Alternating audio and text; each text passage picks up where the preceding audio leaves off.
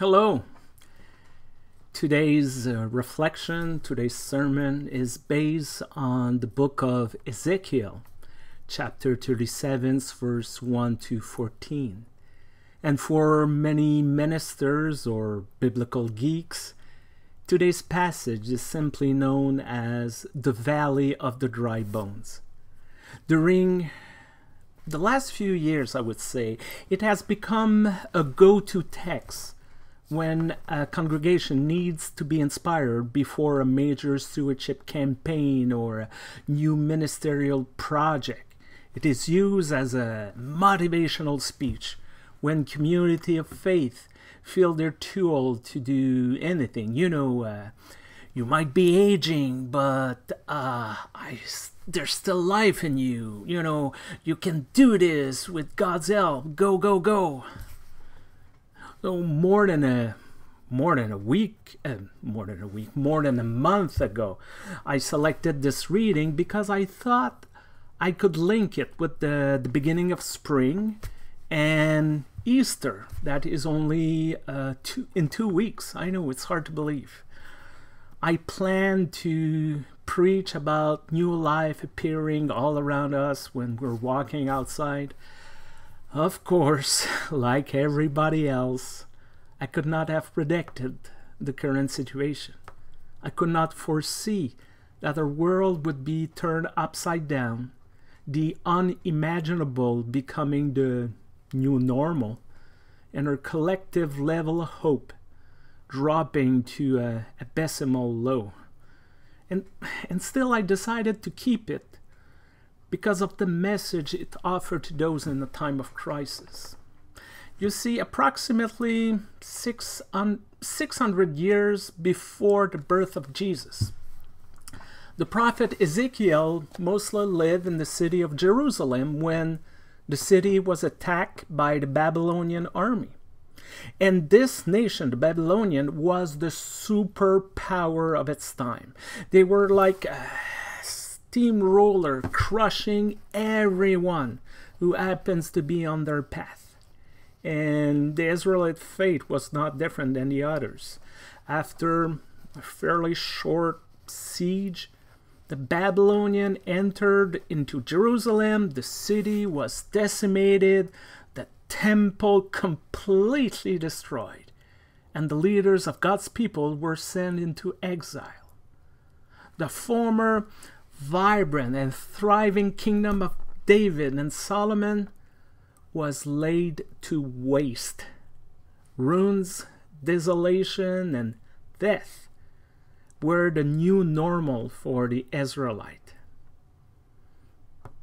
But, but more than a military defeat, the fall of Jerusalem and the exile in Babylon create a profound trauma in the community because they were living in a strange and foreign land where nothing was familiar. And furthermore, they were cut off from the, their official and long established religious practices. With the total destruction of the temple, the specific place the Israelite believed God dwell on the earth like uh, back then let's say they want to write a letter to God they would just have to write on their envelope one temple road Jerusalem. That that would be it. Well after this tragedy they wonder where and how they would be able to find God. Was the God with whom covenants were made in the past with their ancestors still present among them? Or was God simply out of reach? Was there a way out of this crisis during nothing makes sense? Or was it the end of the adventure for God's people because they have been abandoned? For most of us, this sort of profound despair is almost impossible to understand. Maybe the survivor of horrible tragedies like the genocide in Rwanda, the killing fields in Cambodia, or the Holocaust can truly grasp the depth of the Israelites' pain. Like, I remember in a biopic I've seen some years ago about Simon Wiesenthal, the famous Nazi hunter is asked after the war why he does not want to return to his former life and resume his work as an architect. And Wiesenthal simply and sadly answered, What's the point of building houses if you don't know anyone who can live in them?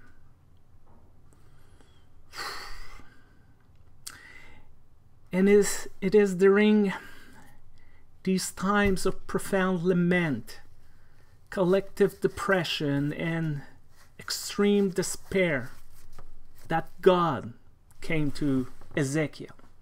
And the prophet is brought out by the Spirit of the Lord, the text says, and set down in the middle of a valley.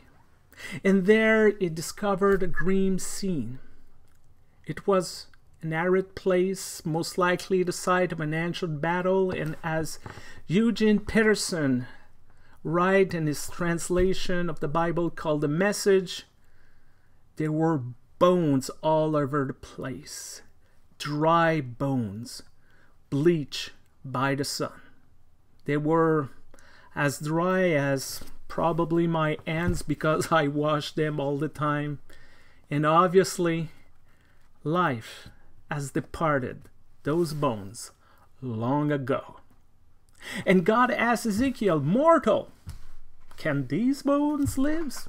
oh, Lord God, you know, replied the prophet, which sounds like the equivalent of a teenager who rolled his or her eyes and saying whatever, or maybe a very, very polite way to claim that the prophet believed there's as much chance to this to happen than finding a snowball in hell, you know. But God says to Ezekiel, Be brave, stand up, speak to the bone, proclaim words of hope and renewal. And if you're not sure what to say, I will inspire you. So Ezekiel stood up in a valley full of desiccated bones and began to preach to them. And he prophesied as he's been commanded.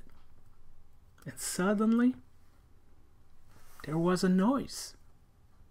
There was a rattling and quaking, and all the bones were knit back together, and they formed bodies, and they came alive, and they stood on their own feet. And there was a vast multitude in front of the prophet.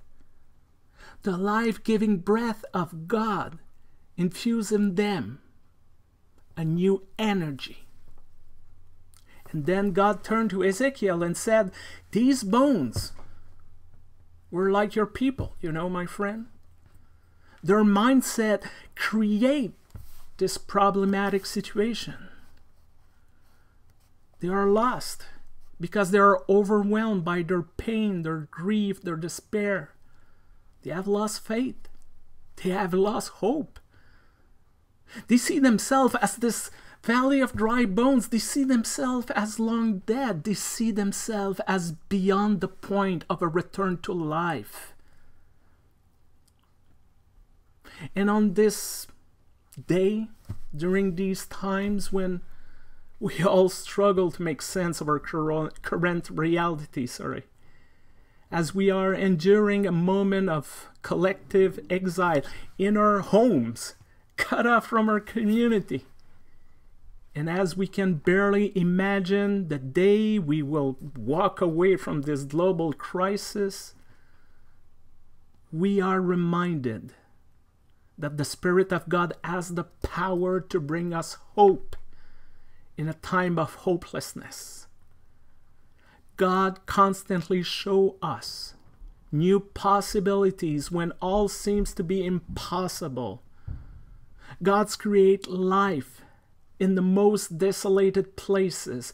Instead of focusing on all our problem, losing our mind about what is, and letting the current climate turn ourselves into a field of desiccated, lifeless bones, God invites us to be courageous.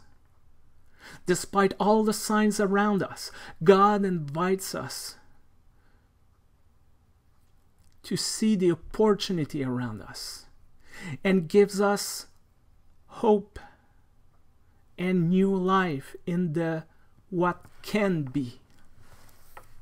You see, after losing the temple in Jerusalem, the Israelites remember that God cannot be confined to a single and specific place in this universe.